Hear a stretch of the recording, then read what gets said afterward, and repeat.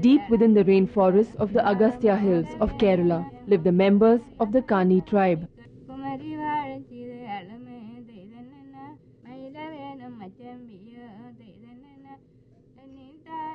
The land of the Kanis is a veritable nursery of rare plants, some of which are found only here.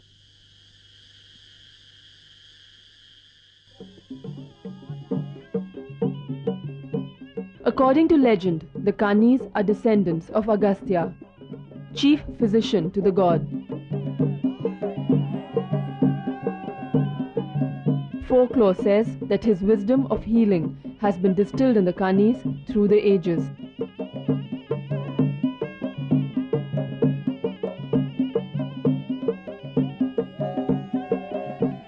The Kanis are nomads, living freely within the lush southern tropical forests of the western Ghats.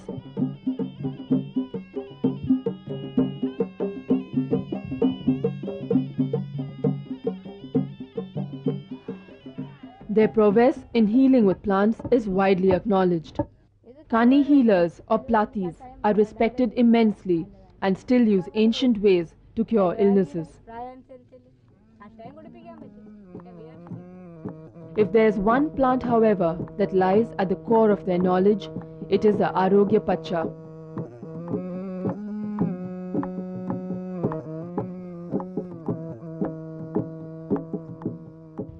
The story of this tribe and the unique herb began almost a decade ago, when two Kani tribesmen were hired as guides for scientists of the Tropical Botanical Gardens Institute.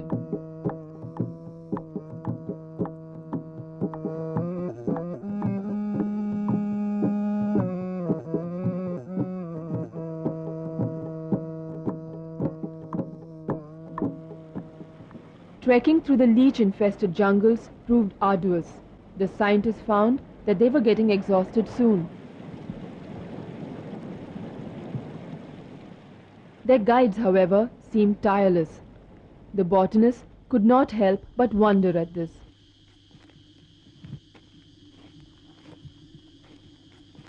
On closer inquiry, the source of the Kani's boundless energy was revealed.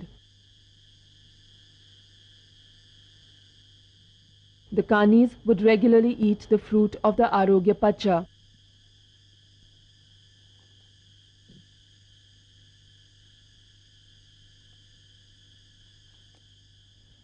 The scientists too tried it and experienced a flush of energy.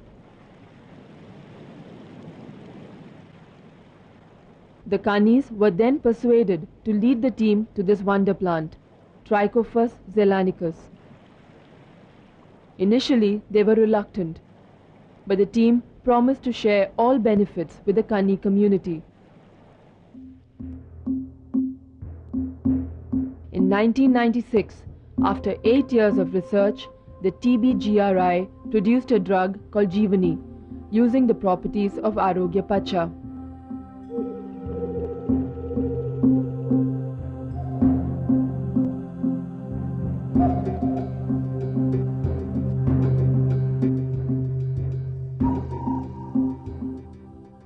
Three years later, in 1999, a trust fund was set up for the Kanis, where the benefits from the sale of this drug are diverted.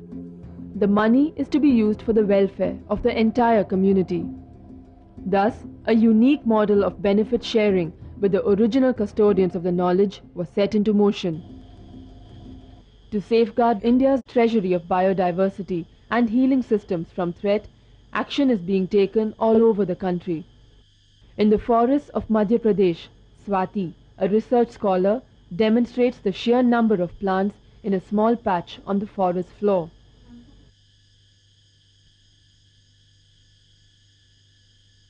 Extensive documentation of these plants and their numbers is vital. This will reveal a clearer picture of which species is more endangered.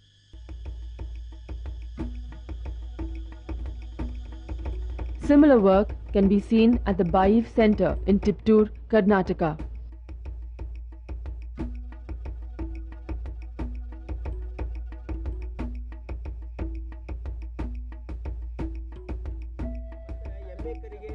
Here, an ongoing program aims at the revitalization of local practices.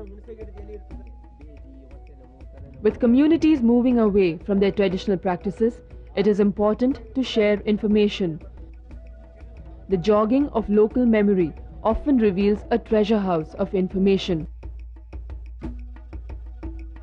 The degraded land in the area is now a site where medicinal plants are preserved ex situ.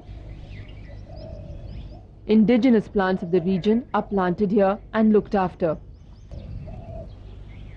This seemingly convoluted clump of trees is in reality a collection of six medicinal species growing in a symbiotic fashion.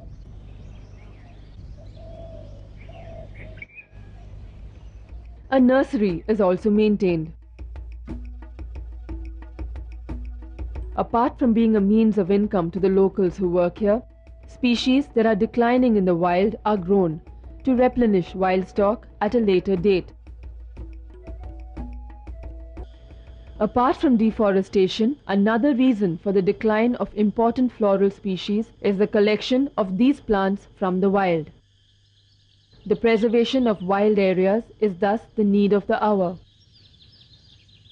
To do this, agencies have simply revitalized the age-old tradition of marking areas as sacred groves where the cutting down of plants is not allowed.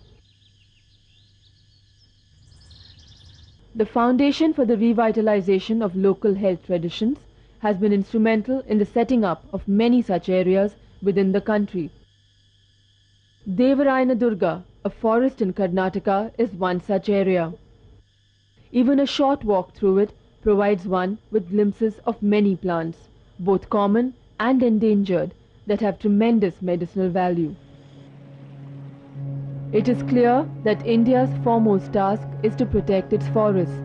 This ensures much more than the safeguarding of the land with its varied flora and fauna.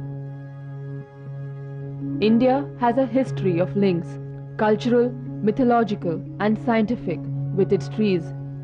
These links have persevered against great odds, creating extensive philosophies of healing systems. The protection of these fragile bonds lies solely in our hands. A global effort must be made. Only this will ensure the preservation of our priceless heritage.